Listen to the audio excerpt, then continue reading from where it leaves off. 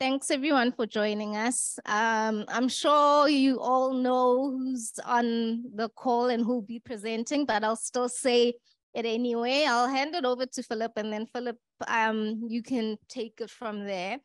Philip is the functional manager for the engineering team at HartRAO. Um, yeah, so Philip, are you ready? Yes. Um, so uh, thanks all and welcome. Um, sorry for the delays.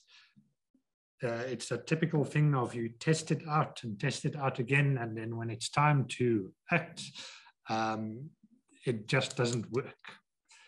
Um, so yeah, welcome. Um, I'm going to leave the camera off for now due to all of these technical difficulties.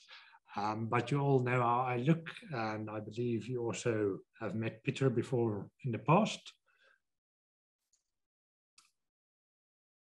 Today, uh, we'll start out with a disclaimer that we are dealing with a lot of history here, and the dates and some of the information uh, as it's uh, it has been gathered around around stories and so forth. So if you have any um, insight into our inaccuracies, let us know and we'll update that as we go along.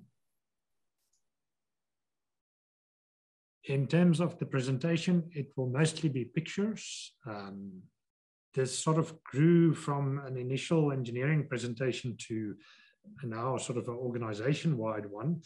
Um, but we'll keep the engineering talk to a minimum uh, and hopefully keep it interesting for you um, so that whether you're in engineering or in finance or wherever, uh, you'll still like it. Um, and if we tell you something is impressive, you can take our word for it. Uh, Peter will also be talking, and I'll hand it over to him now, uh, where he'll take uh, take us through the history. Um, after that, I'll talk a bit about VGOS, uh, and uh, we'll we'll swap and change as we go along. So yeah, Peter, after you. Uh, thank you very much, everybody. And uh, before I start off, uh, a special word of welcome uh, to we've got our special guest of honor here, Dr. George Nicolson and his son Brett. very warm welcome to you. It's uh, uh, uh, an honor to have you here, and uh, we hope you enjoy this as much as uh, the rest of staff. So the the site started in 1960, which is quite a long time ago, and it's it's a lot of history to to condense in a short time. So we're going to try our best to to uh, take you through it and uh, yeah, hope you enjoy it. Um, the project started, well, probably before 1960 already, but in South Africa, it started in 1960. Um, this is uh, what the site looked like then before construction started. Uh, NASA looked for a site to put up an Earth station in South Africa. Um, and they had specific specifications for it. It needed to be in a valley to shield it from RFI, far enough from civilization, again for RFI, but they wanted it close enough to civilization so that they can get spare parts and uh, transport uh, in and out uh, of the site. And uh, eventually, uh, Hartbeespoort Valley was selected uh, to build this antenna. Um, this view is from the from the North Hill, which is uh, and in the foreground you can actually see the Suikerbos uh, on the on the side of the mountain. Um, going down into the valley, they needed to construct a road to get everything in. So that was the first to to be constructed. Um, uh, was the road down into the valley. Um, the foundations for the 26 meter or the 85 foot antenna, as I believe, was cast on Christmas Day 1960. Um, the project was quite hurried because they needed to get it ready for the first mission, which was Ranger 1, uh, which was in uh, July of 1961. Uh, so they were in quite a hurry to get everything ready for them. With a polar mount antenna, it's quite critical to survey the foundation and the mounting in very carefully because everything else relied on, on that because you cannot calibrate it out as with a ASL antenna these days where you basically survey the antenna in after you build it. There you had to survey in the foundations very carefully before everything. And if, if you get it wrong, then the whole antenna is, is wrong.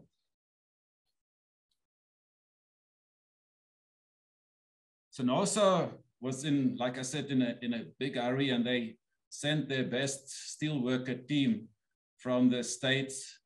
And uh, this is their field mess. And you can see the guys were well looked after uh, uh, in terms of catering and, and comforts. That a special South African kitchen to provide them with uh, the food. And then construction started. Uh, first, the legs went up. Uh, this is a, a, photo of the north leg being uh, put in place.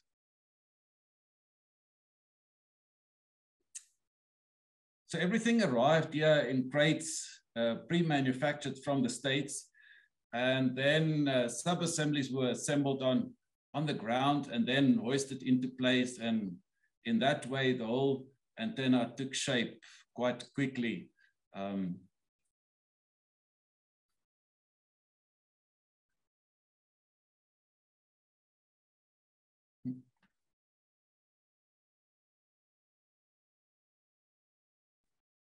see the next one.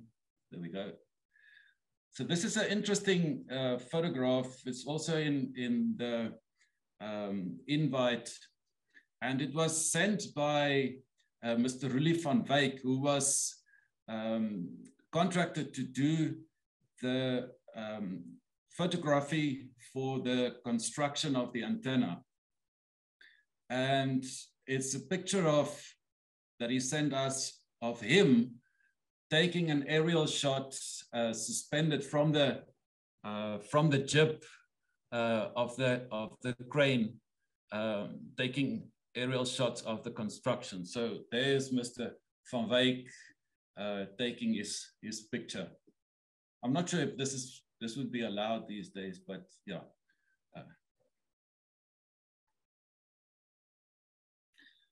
Everything had to come down that newly constructed road into the valley and uh, the, uh, when if you've visited the site then you would know that it's quite a quite a road going down into the valley and that road has claimed a number of casualties. Um, we've had uh, two diesel tankers overturn down the road a concrete truck a fertilizer truck two tractors, numerous cars. So uh, yeah, it was quite a, a dangerous piece of three kilometer road down into the valley.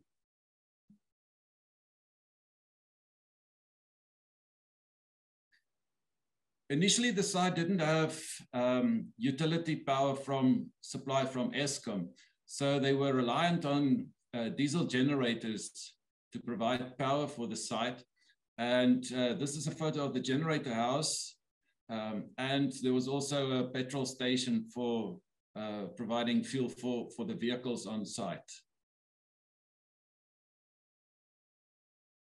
This is a photo of inside of the, of the gen house uh, with three of the V16 Caterpillar generators. And uh, back in the days, uh, all of those synchronization and switching was done manually. Um, quite a, a, scary thought that. Um, but yeah. Uh, the inside of the control room uh, back in the days, uh, most of these racks have been removed and replaced with smaller equipment as it is today uh, much more condensed. Um, although some of the racks we still use today and um, the ones in the corner here um, are still in place. And later you will see a, a photo of those racks that's, that's still in use today.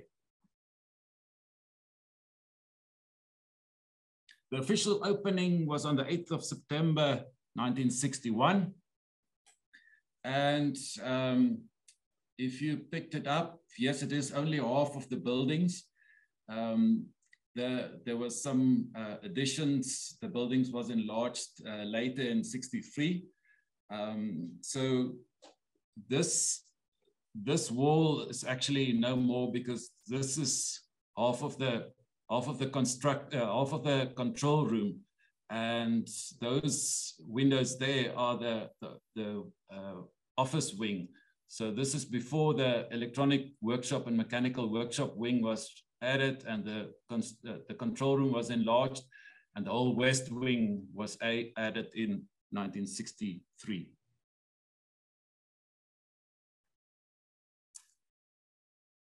this is Dr. Hewitt, which was the director of the uh, Institute for, now I, I, need to see my notes, um, which was the division of the, of the CSIR. And um, with him is, uh, let me just get that. Um, where's my, uh, this is um, the Minister of Economic Affairs and um, Mines, uh, Nick Diederichs. And sorry about that.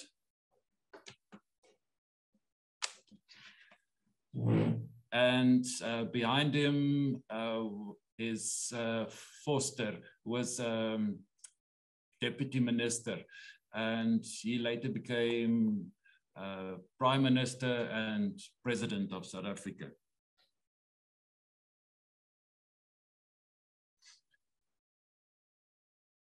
aerial photo of the site in 1960, uh, 61, um, just showing the 26 meter, 85 foot and the control building.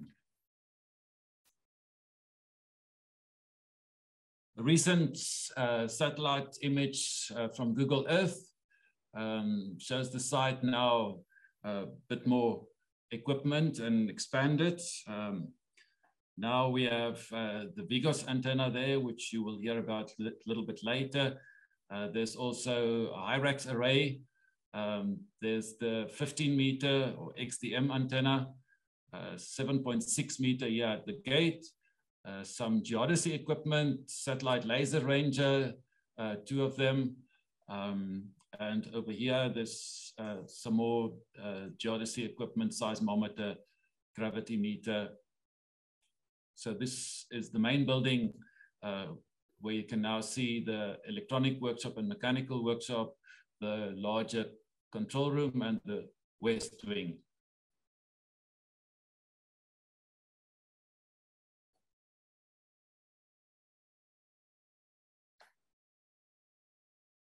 This is just a, a screenshot uh, from the NASA website um, where they show a picture of the, the prime focus um, antenna as it was built in 1960.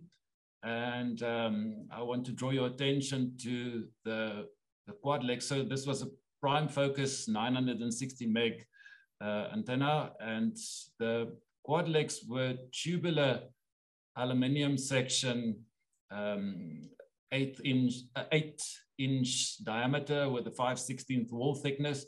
And uh, I'm going to speak a little bit about that later on in the presentation.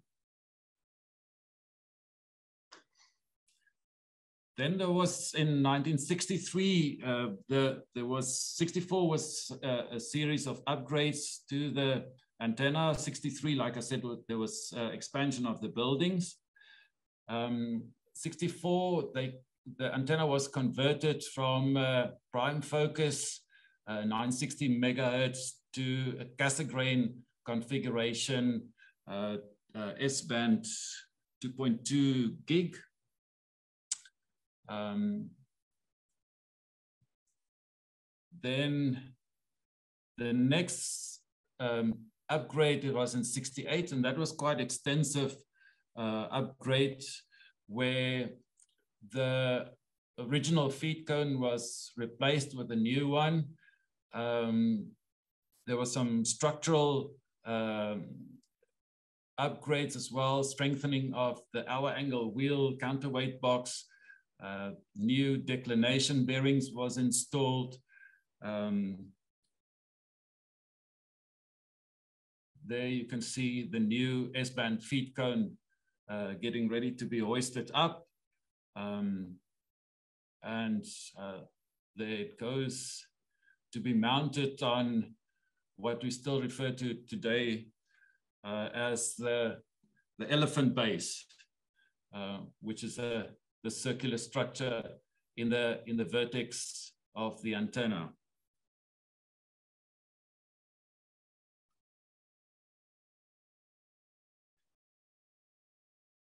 also with uh, some developments at the top station, which is today SANSA, um, they also get a, a, got power from the same generator house. There was a series, uh, there were two step-up generator, two step-up transformers that stepped up the, the voltage from the generators to 11 kV and then transported up the hill um, three kilometers to the, the SANSA uh, station. And then there it was distributed again but still relying on, on diesel power for, for uh, prime power.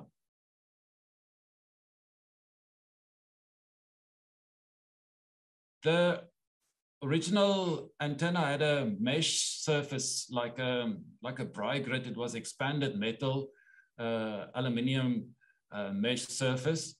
And that was also replaced in, in 68 with uh, perforated aluminium sheets. So they just got in with uh, air hammers and uh, stripped off the, the, the, mesh surface and then screwed down the, the perforated sheets onto the original frames.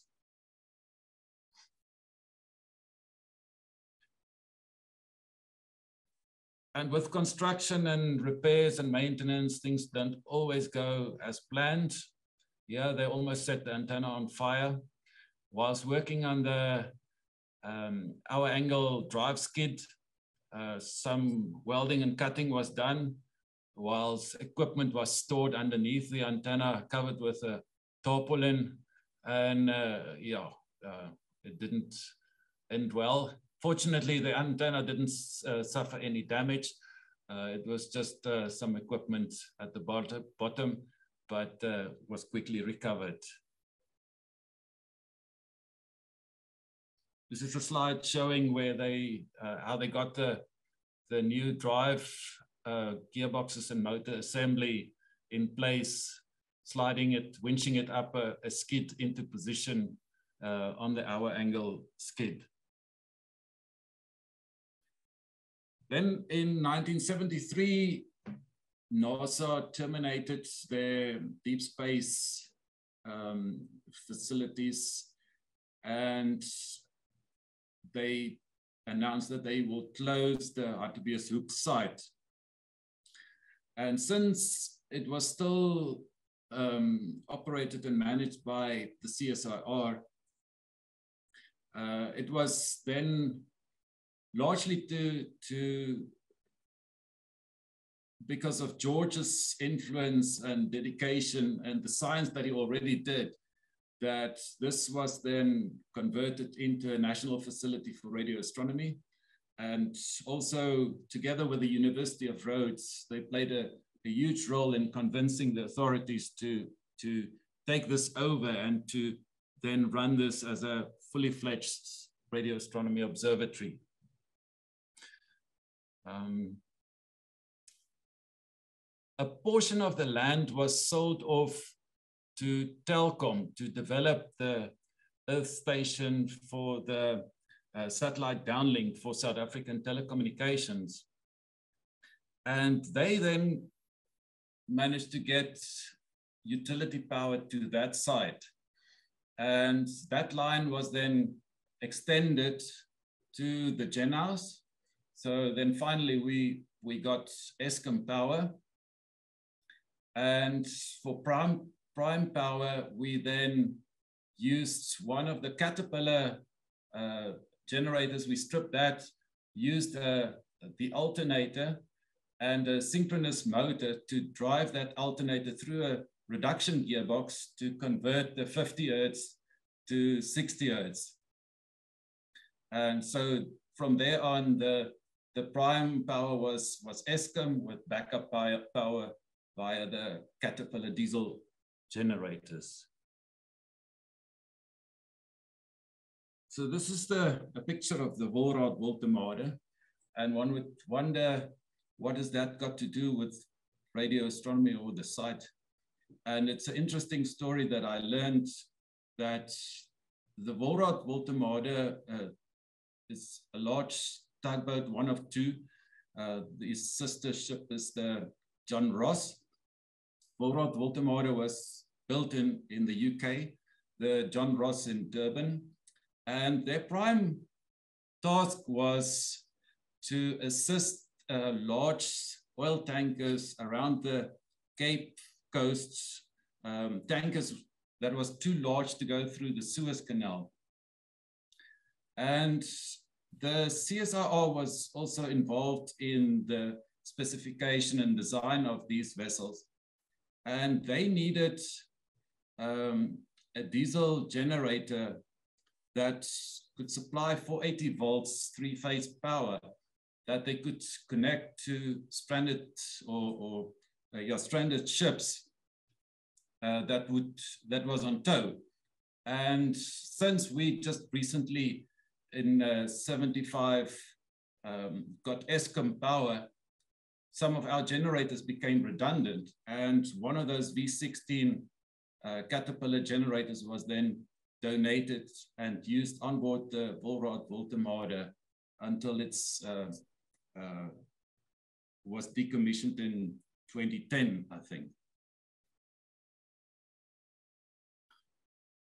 So this is just a quick timeline of uh, basically what I've presented so far. And you can just read through.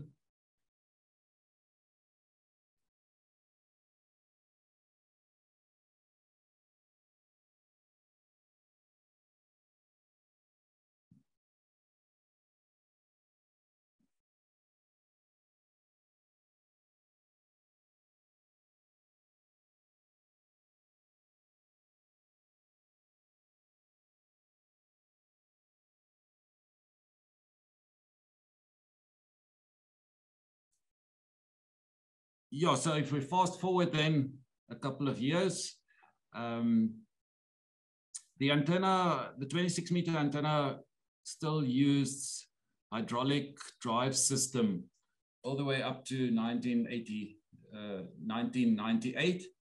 And then that was upgraded um, with a, with a VSD electric drives. So this is just a, a image of the drive cabinet uh, that was built and supplied by EP Norman.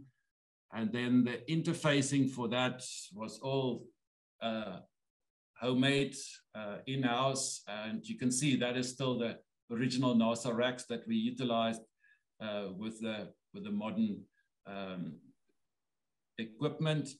And that part over there is the, the interface, computer interface, and then at the bottom is the manual antenna drive.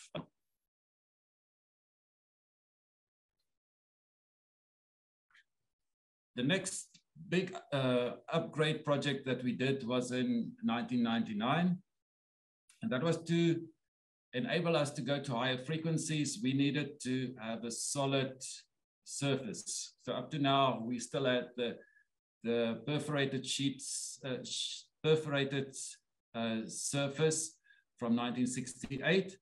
And so now we set off to replace that surface with a solid uh, sheet surface. Of course, it's not easy to just shut down an antenna for a long time and upgrade it. We needed to do the project in a way that kept the antenna operational during that time. So the antenna, the, the surface consists of 252 uh, panels in seven rings.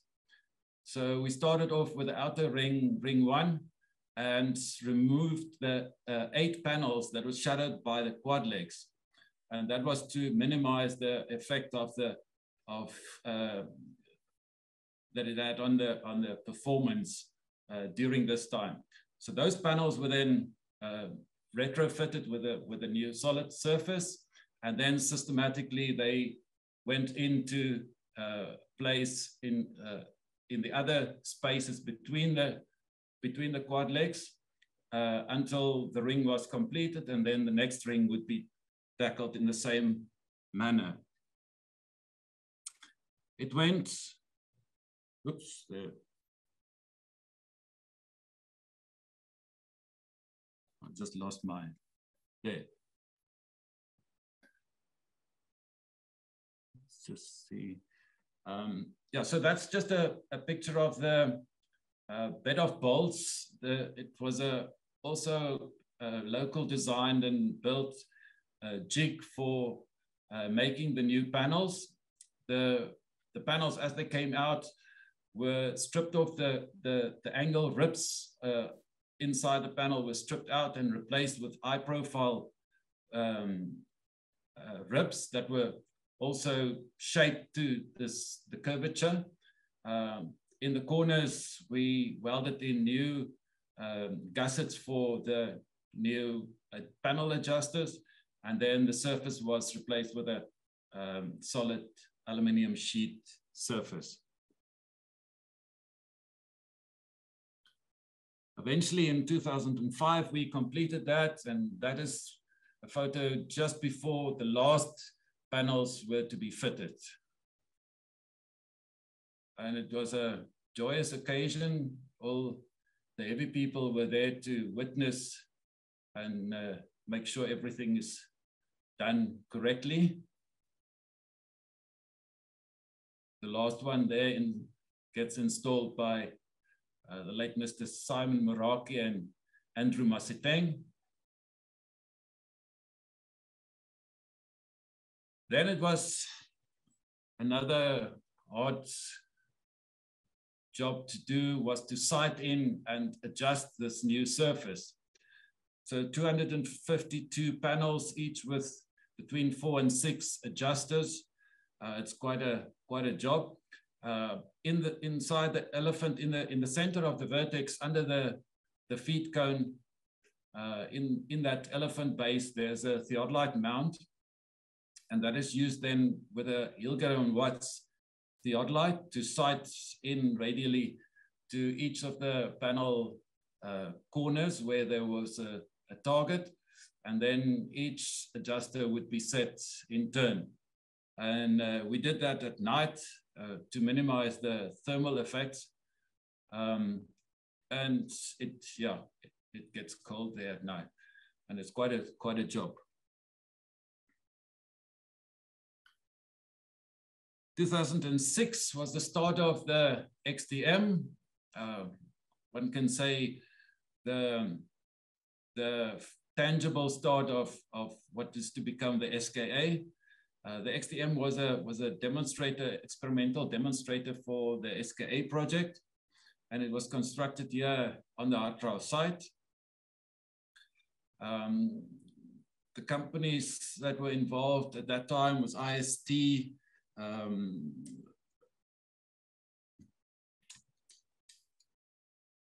uh, IST, MMS, Tellumat, EMSS. Um, there you can see this was a, a ASL um, antenna and the azimuth uh, yoke beams uh, lower down onto the slew bearing. There's the antenna completed shortly after um, construction. Of course, the, the, the surface was also um, solid surface um, composite design. The moat can be seen in the background under the top. The antenna was, was fitted with a seven feet prime focus uh, receiver, L-band, 1.4 gigahertz.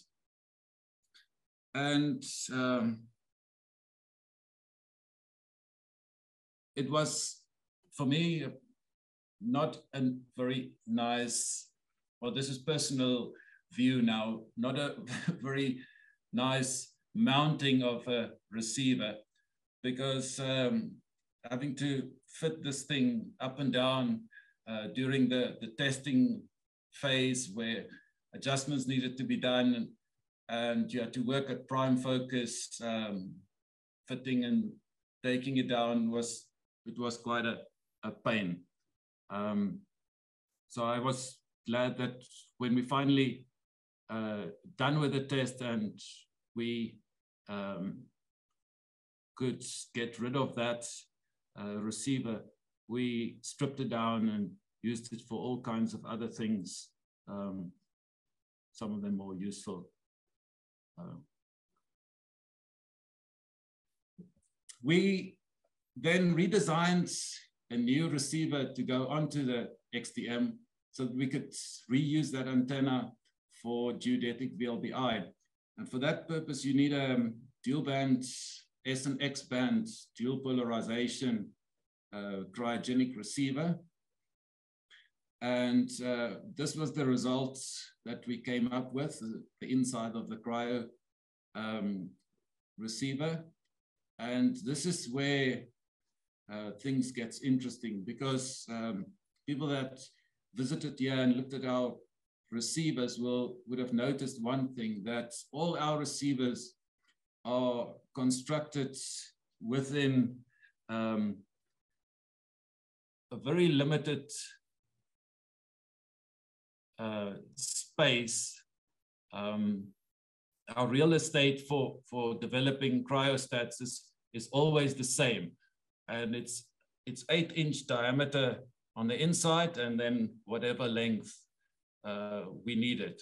And that is because the, the tubular sections that we use for, the, for our cryostats are all leftover pieces of the original prime focus uh, 26 meter quad legs. So we utilize the, the old quad legs of the original antenna for our cryostat housings.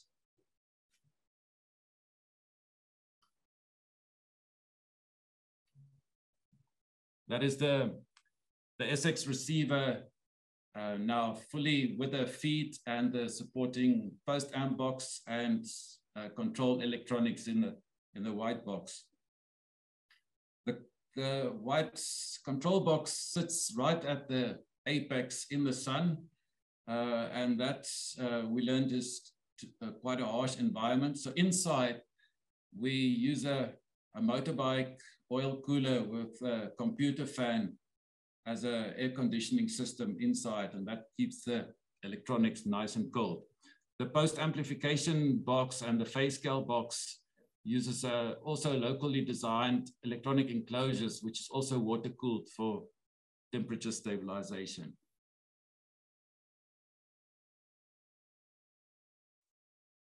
Working at the apex of a prime focus antenna is always a pain so we designed this uh, scaffolding platform to be bolted um, onto the onto the quad uh, onto the quad legs um, for when we need to service and work on the on the receiver, and that makes life at the apex a little bit more comfortable.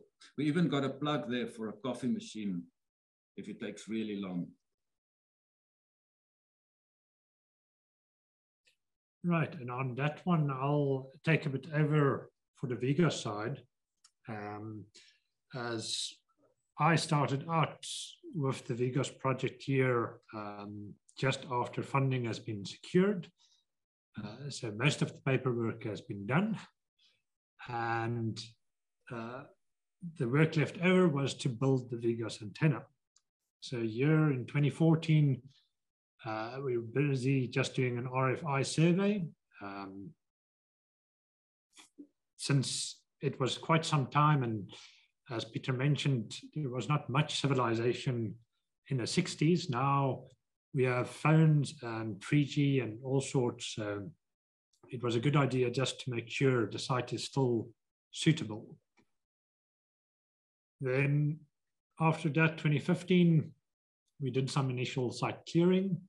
Um, here we are using the cherry picker just to get an idea of the, the height of the VGOS antenna, um, typical placement and uh, what relation it has to the other antennas. So you see the 26 meter there in the background. Soon afterwards, in 2016, we finally started uh, pouring foundations. So the hole you see there is a nine meter by nine meter hole, about three meters deep, that firstly got filled with uh, mostly concrete before they started with the structural frame, um, the steelwork for the antenna foundations. And still 2016, uh, construction uh, continued. This is around November, I think, uh, where they're busy uh, fitting the the it's a, a ring um, anchorage ring they call it which is fit here at the top and gets cast into the concrete and that's the connection point between the static tower and eventually the VGOS uh, movable antenna. So there it was uh, done. Uh, this is April 2017, um, just after all the parts have arrived from China and Germany. Philip, sorry um, you. Um, could you just pause for a second? We've lost power, so we're not seeing the images. Okay, that's fine. Let me um, reshare then uh, hopefully it comes back. Or is it just your screen that is off? It's just the screen that's off. So I guess, I mean, we can share the presentation with the photos, but um, I think it's useful to see them as you talk. Yes.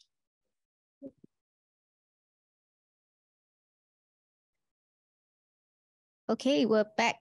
Um, can you go maybe a photo back or two photos back, I think?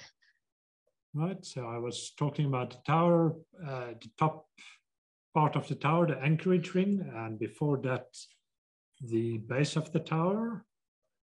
Okay, I think this is where we cut off, right? Yeah, all right.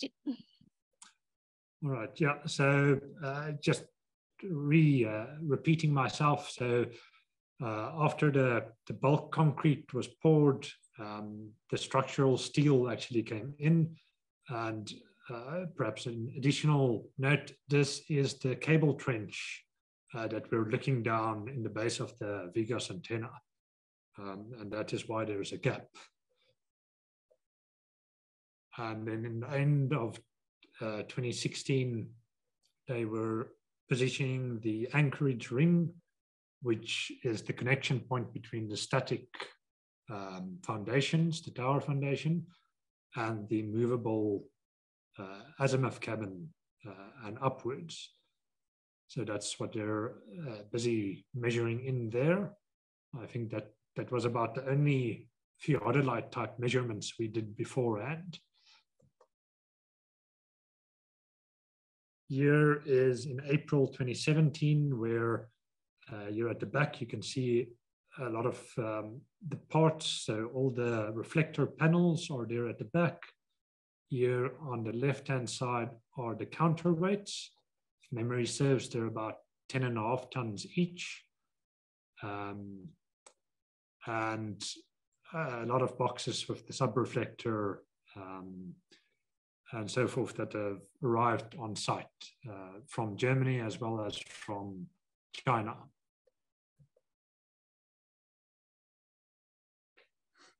skipping forward, I think, two more months to June, um, and I've finished assembling the uh, main reflector. This is the day where everything really happened, and they lifted the reflector to be bolted onto the uh, azimuth cabin.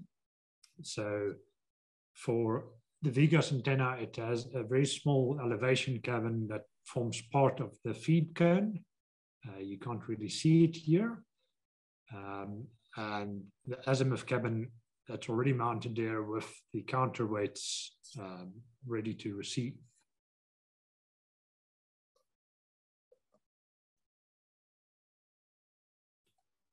And then I have a short video for those who have not seen the VGOS dish in operation yet. I'm hoping it works, works well.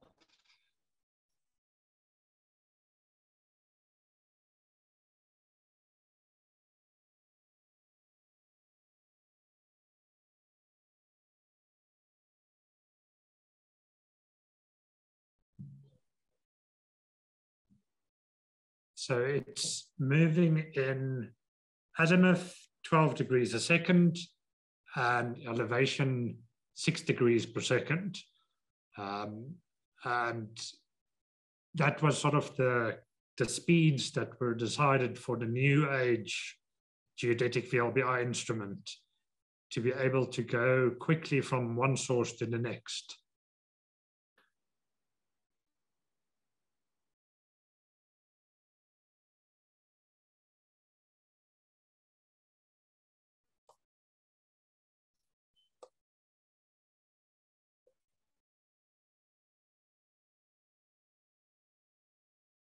And finally, and I'm not sure why it has skipped now. Let me just put it in slideshow mode again.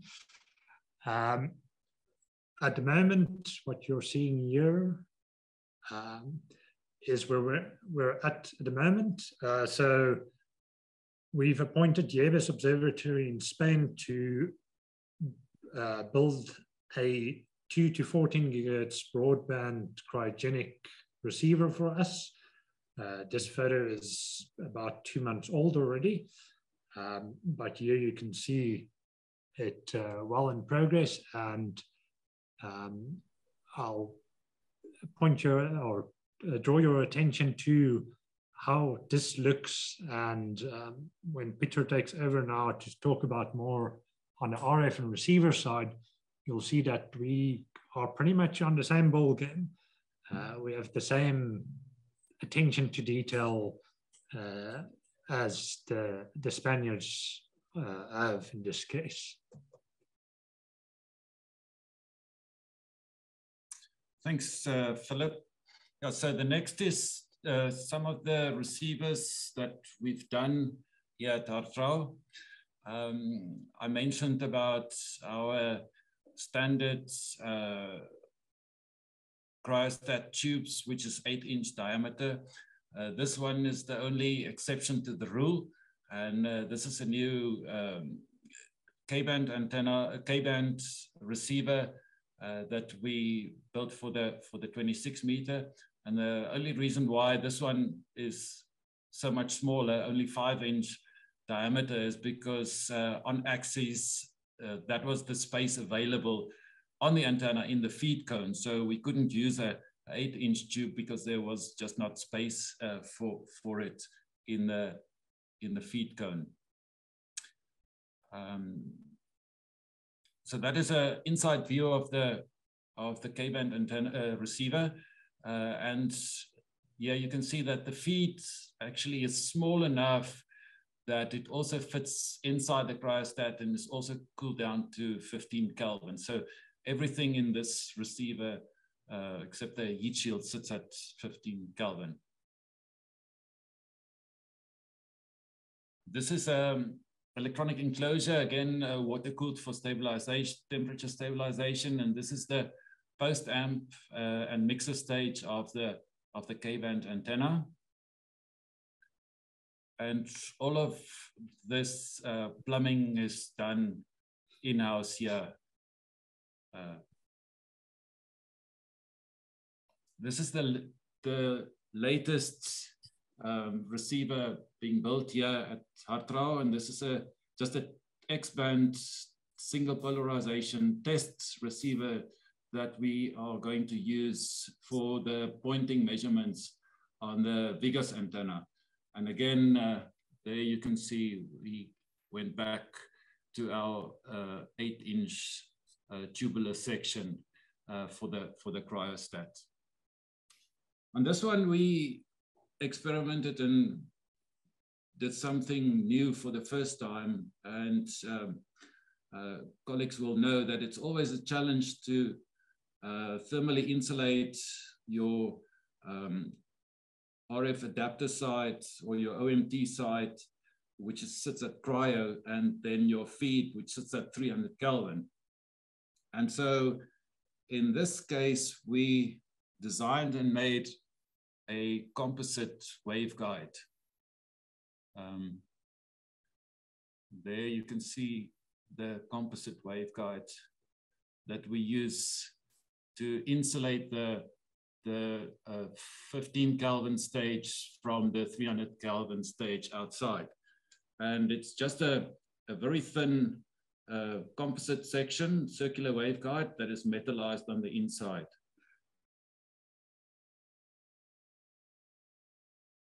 That is a side view of the feed cone of the 26 meter antenna.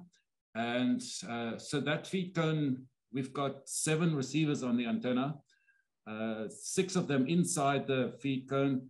L-band, uh, which is the one here on the, on the side, is just too big to fit inside the feed cone. And so that one is strapped onto the side. Uh, but the others are all uh, in a north-south line inside the feed cone. That presents a bit of a challenge when we have to do geodetic um, VLBI using S and X band because the, the S band is on one side of the cone here and the X band sits on the other side of the, of the cone. And again, this was uh, one of those uh, Friday afternoon uh, hurried projects where we needed to come up with a solution and uh, a set of dichroic mirrors was built to split the beam. So the first uh, dichroic mirror sits above the X-band receiver and it's got a perforated flat mirror. So the, the X-band uh, beam can pass through the, through the mirror and the S-band portion is reflected off the flat mirror onto a curved mirror above the S band and then down into the S band receiver. And that way we split the beam and we can do simultaneous S and X band uh, observations. That's just another view of the antenna uh, showing the dichroic mirrors installed on top of the uh, feed cone. Then we go on to some other projects that we do uh, here at uh. Um, in 2008, while we were having tea outside the tea room, uh, the antenna, the 26 meter antenna was slewing from one source to the other when it made these horrible, horrible noises. And um, we subsequently investigated and discovered that uh, the hour angle south bearing uh, failed. Um, we got the guys from SKF out here to come and put the instrumentation on and see what they can tell us.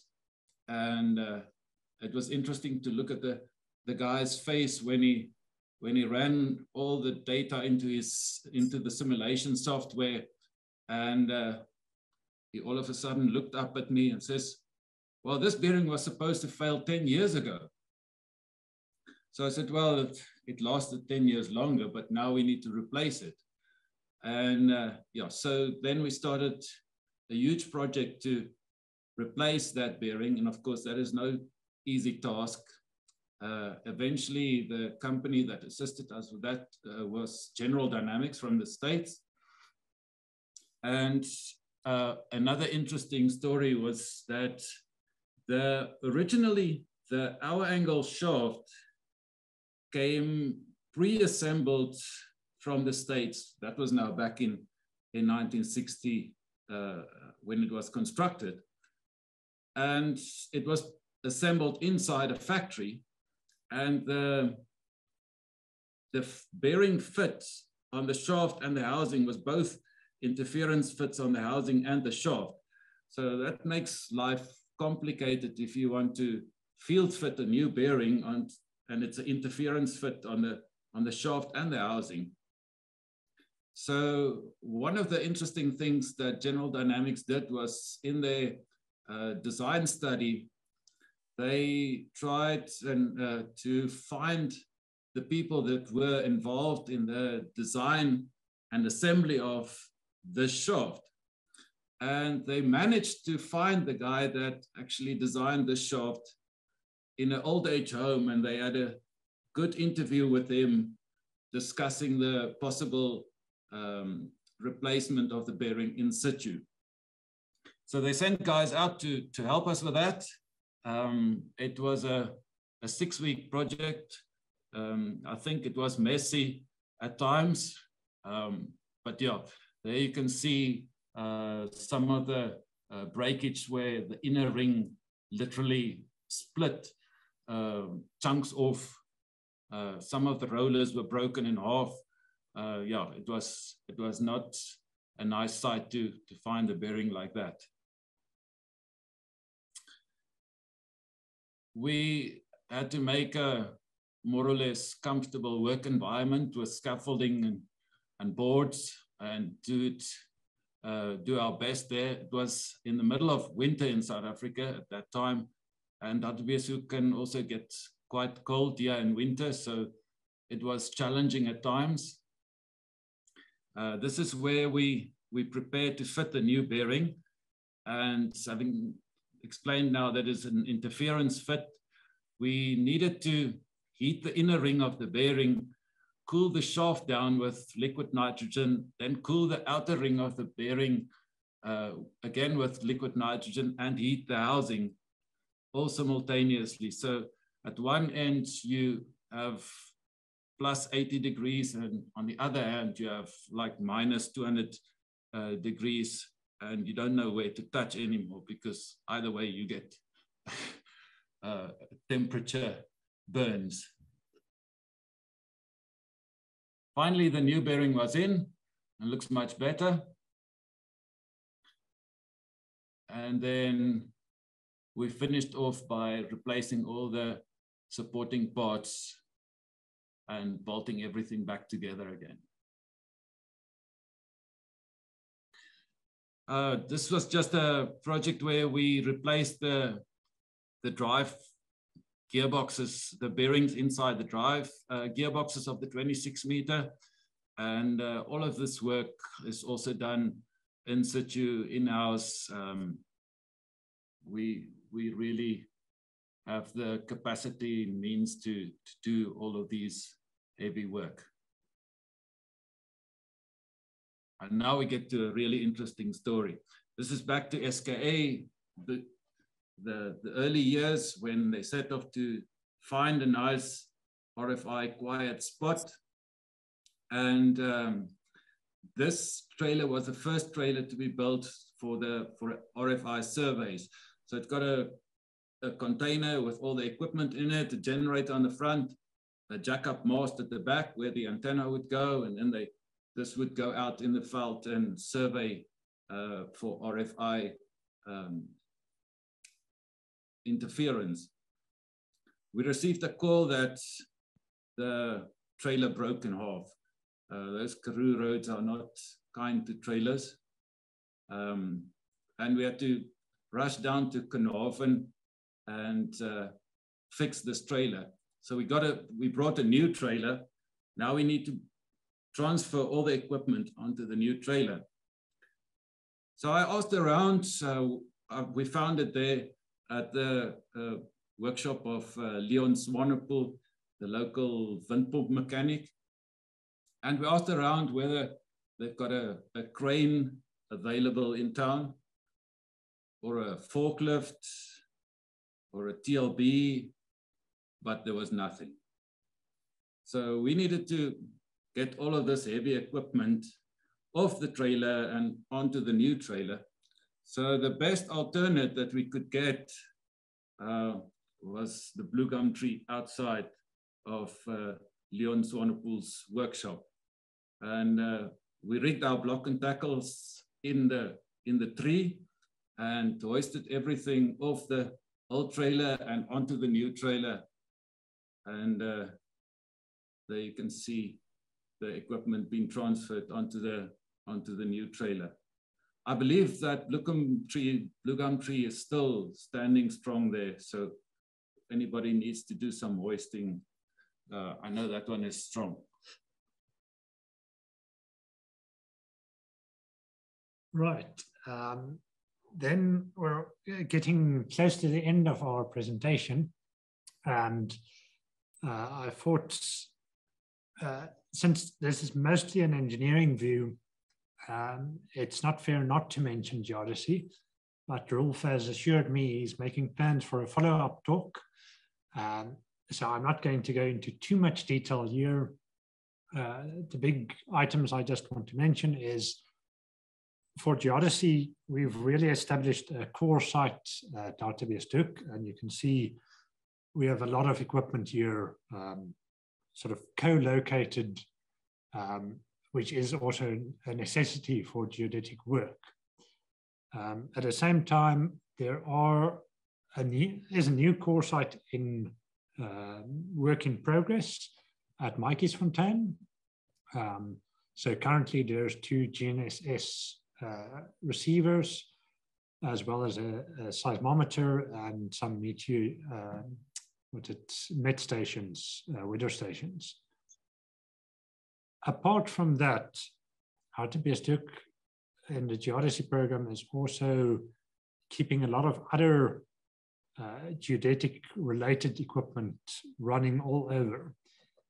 So throughout uh, Africa, um, there are various stations um, in Namibia, Botswana, uh, Zambia, uh, as you can see you're, you're all over.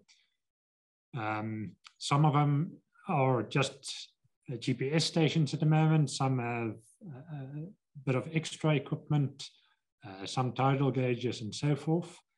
Um, and one of the, or the main way to get there is a Toyota Fortuner. Um, so that's quite quite well kitted. For the rest, we also venture a bit further than uh, land, and some might know, some might not, but there are a few other stations. So here to the left, um, that pinpoint there in the middle of the ocean is Gough Island.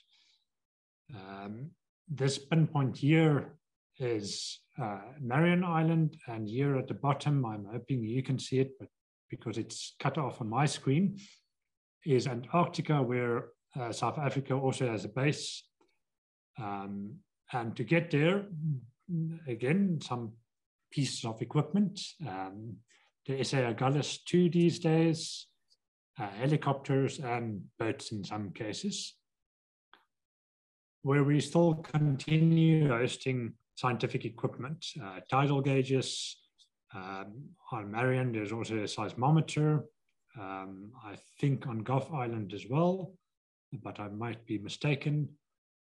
Um, this is a GNSS receiver that um, was installed, I think, uh, early 2000s already, and that's still going strong in Antarctica.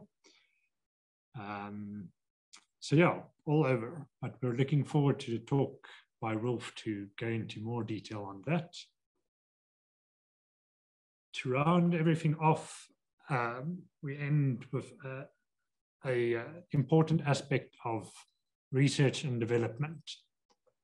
And as Peter has already mentioned, there's a lot happening, and it's not usually um, what you read in textbooks um, a lot of the things we do on this side, we try out uh, first and then write about it later, hopefully. Um, so some of the work uh, in that respect is um, our new or uh, newly um, new collaborations with SANSA. So SANSA, the top station, they are all the years busy with space missions. And uh, the last bit, uh, there has been renewed interest in landing on the moon and other deep space missions. Unfortunately, SANSA's equipment, they have about a 12 meter antenna. That's their um, largest diameter antenna. And though it's adequate to send uh, messages and telemetry and command data to satellites, it's not strong enough to receive those weak signals. And this is where our 26 meter came in, where we're working with them. They transmit telemetry and command information up to the satellites um, because they are uh, the service provider for people like NASA and so forth. And then we receive the, the, uh, the signal from the satellite using the 26 meter antenna with additional sensitivity. It gets passed through radio frequency over fiber transmitters all the way three kilometers up the road to them and it's as if they're using one single antenna.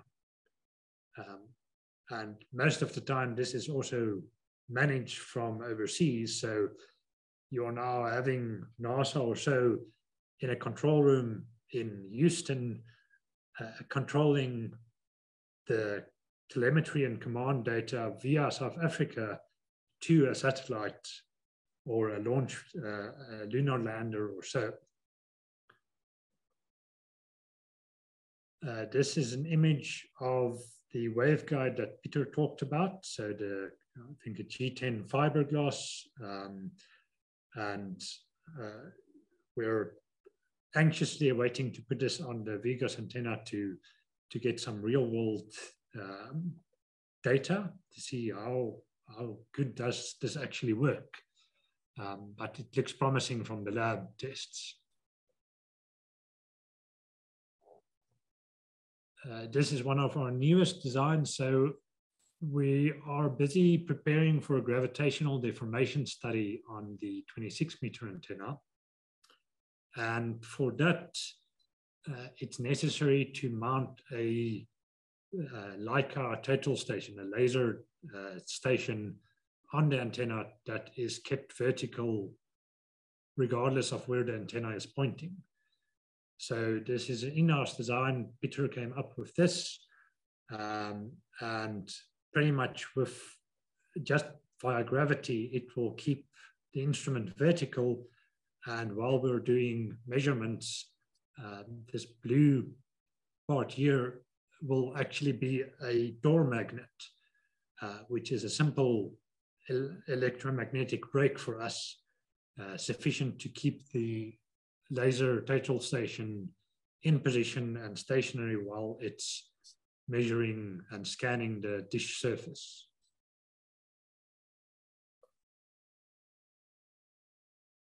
Our work also involves some other custom custom jobs. So um, this frame on the back of our bucky is also built in-house.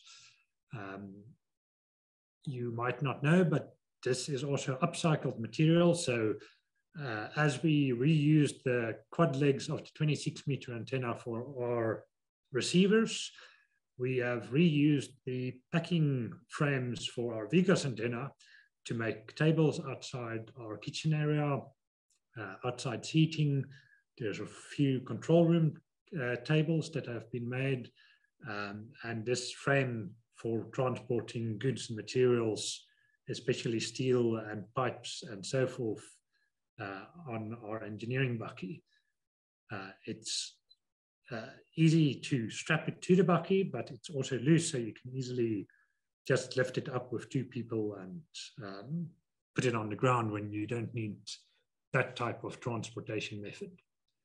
Uh, also, Peter has pointed out it's a, a workable mobile workbench. You just need a top. Uh, coming to our second last slide now, uh, radio interference is always an issue.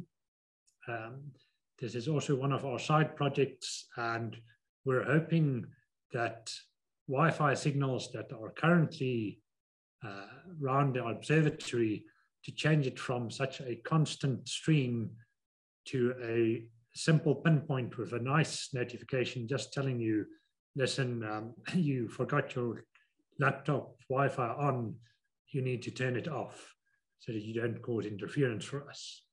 Um, at the moment, it's it's very noisy. There's a lot of interference, but within time, hopefully it will look more like this bottom graph rather than the top one. And then finishing off with a, a, a bit of an engineering joke almost, uh, one would think this is a simple presentation and we've already run into some technical difficulties after testing all the connections out just an hour beforehand. Um, but this is the setup we have here in the library and the library annex. Um, and it again started out simple. We want a to do a presentation, but we have two speakers. So uh, we can use microphones. There's two on the desk as we are using them now. Um, there's a, a mixer or audio mixer to take those signals and seamlessly uh, put it into Zoom. So Peter can talk while I'm talking and it's like a conversation going on. Uh, we even have a microphone going out to the library section if there's any questions after this. Um, but all of a sudden, you realize with these nice new technology, uh, it starts picking up the vibration of tapping keys on the keyboard and so on. So in comes foam packing, packing tape, uh, not packing tape, but um, foam insulation used in packaging, um, just so that the vibrations from the table is not picked up. Um, finally, once almost done, uh, doing a quick dry run yesterday, Peter noticed that um, I couldn't st sit still enough in these chairs. Um, so these chairs actually creak loud enough for you also to pick it up.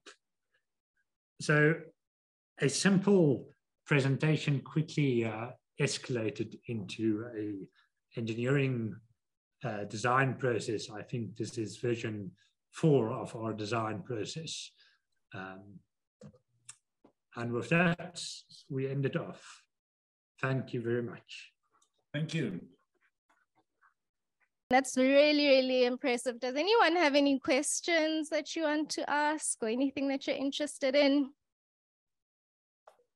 Hey, thanks for the nice presentation. Tell me, um, for Hartebeesthoek, what is the primary science that the 26 meters doing at the moment? Or the top two or top three? Sure, that's a that's a tough one now, shooting out of the hip because we are now from engineering and not from the science side. Um, but the 26 meter is still used for for some geodetic work to maintain the, the, the reference frame. It's doing um, K-band reference framework, uh, and that is actually a, a, very special one where it was included now recently, um, the 24 gigahertz um, portion uh, into the uh, international uh, celestial reference frame. Uh, it's still doing uh, maser monitoring, pulsars, um, so yeah, but I'm I'm now speaking from engineering, shooting from the hip. So I think um, uh, there will be it'll be a good idea to also get uh, the scientists from HartRAO to actually present um, in one of these sessions uh, the work that we do. And in terms of the operations, do you like have a schedule for the day? Is there an operator that's checking things off or how do you yeah.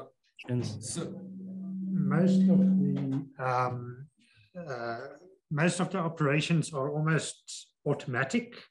Um, again the, there are schedules but it's best to speak to the scientists about that. Um, the antenna uh, all the antennas really participate into um, in international uh, VLBIs. So that's usually uh, pre-planned quite in advance, almost a year in advance. But in between, uh, there's almost, I don't want to say gap fillers, but we fully utilize the antenna. So during the day, um, uh, the scientists put, uh, put together a schedule and it runs. And luckily, since we are in the same building as the antenna, we have this nasty alarm going off if something's wrong. So engineering is quite close by to to uh, fix any problems. And we've got Fani here to, from from uh, the scientists who can quickly brief us on uh, exactly what we do. Thank you, Fani. Hi guys, um, it's Fani van here. Um, I'm the staff astronomer on site. And just to clarify, um, I do the scheduling for the single dish every single day. So um, what we, our routine, if you can put it like that, is um, we basically start from L band and put in all the L band sources. And when it's done, we go up to C band, KU band, and K band, and then rotate all the way around. Um, and it takes about a week to go all through all the sources at all the frequencies. But yes, I as as the, the day's observations is done, I take the files out and put new files in and rotate around.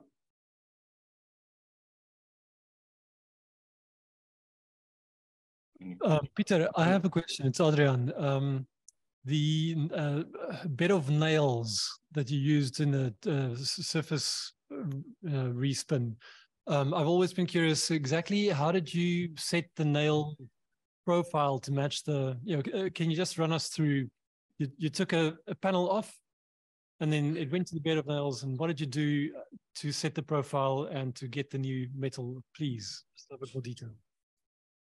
Uh, for that, we'll we'll quickly pause uh, pause that question while uh, Fani just swaps out with Peter again. Um, uh, I'm not so well versed in the bed of bolts or bed of nails as they they called it. Um, Peter's just getting into the room again, and he'll take you through it because he was quite involved in that process. Yes. So, Peter. Sorry about that. Yeah, Peter, the uh, the bed of bolts that you used for the the panel respin on this 26 meter, mm -hmm. I mm-hmm. just to you to take us through the process when you took off a panel from the from the dish you went to the bit of nails how did you adjust the the, the nails or the, the, the bolts to get the profile to stretch the panel and, and fit that piece some detail there yeah so so that was done on on top of it we had a permanent um, rail system where we had a commercial DRO system that is used on, on uh, milling machines and lathes. And that was used to individually, the, the, the bed of bolts um, at a, a, spacing of 100 millimeters square. So, so um, it, was, it was just a, a, 100 um, millimeters separation between the bolts uh, in X and Y.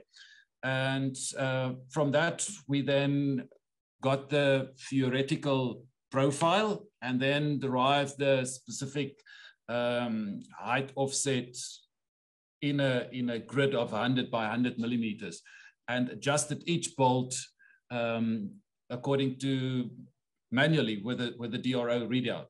So it was calibrated, zeroed, and then measured across uh, each bolt uh, on, the, on the bed of bolts. And that was it. I don't know if I explained it it, yeah, sure. But, I mean, how many bolts are there, and how long did it take you to? And then I presume you took it ring by ring because each ring has the same profile, right? Yeah. So it was done ring by ring. I think ring three and four, ring three and four was was done simultaneously because the panels were small enough that we could fit uh, two panels on a on a on a on on the bed of bolts. Uh, so that one, that one, the two were done simultaneously, but it was done ring for ring So we did one setting um, and then uh, did all the uh, all the panels for that ring on that one setting. You still have to say how long it took you to to set the, the bolts. Uh, it was probably let's you. It, it's a long time ago, but but let's say it, it was about two days work to to set it. Um, uh, we didn't have a, a, clocking system back then. Yeah, uh, like Clockify. Clockify wasn't active at that time. Um, yeah, but it was was about two two days to set the to set the the, the bolts. Okay, thanks. Um, uh, one more question from my side: the molds, the XDM mold. Did anybody yes. put that into a bird bath or a swimming pool, or what happened to that? No, it's still standing there um, I still have a I still have a project for it. Um, if if I get a bit of funding, we want to actually move it to outside the, the kitchen area and raise it about two meters in the air and use it for a recreation area. Um, so yeah, paint it white on top and just raise it. Uh, it's a nice um, uh, braai area. But other than that, nothing. Good, thanks. It's for sale if you want it. Okay, I guess you answered everything. It was really, really amazing. I'm really impressed. And thank you so much for um, doing this and being the first team internally to host or present a lunch and learn. It's really appreciated. If there's uh, anybody that still have uh, questions afterwards or so, uh, they are welcome to contact us via email as well or visit us.